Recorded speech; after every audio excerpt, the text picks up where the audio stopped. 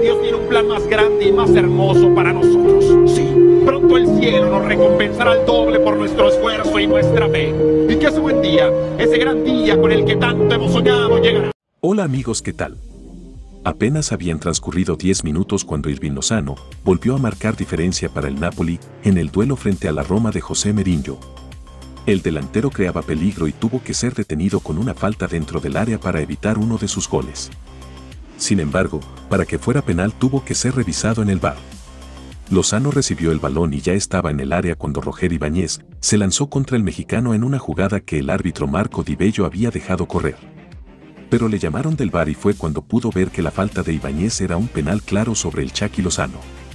Por un momento, el técnico del Tri Gerardo Martino sufrió a la distancia y todo porque una vez más parecía que llegaba una lesión para Lozano, quien cayó con el tobillo doblado y estuvo tirado en el césped algunos minutos mientras se revisaba la jugada.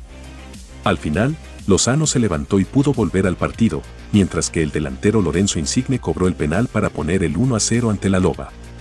Todo mientras Merinho se reía desde su banca técnica por considerar que no debió marcarse esa falta. Napoli busca seguir peleando en la cima de la clasificación y por ahora tiene 66 puntos mientras que el Milan líder tiene 71 unidades.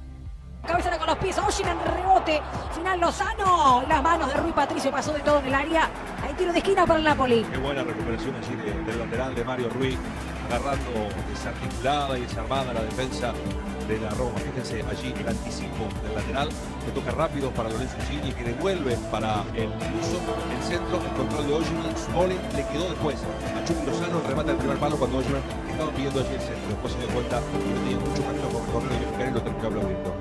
Altísima esta para meterle el pelotazo a Lozano, que es rápido, el mexicano que va en el mano a mano.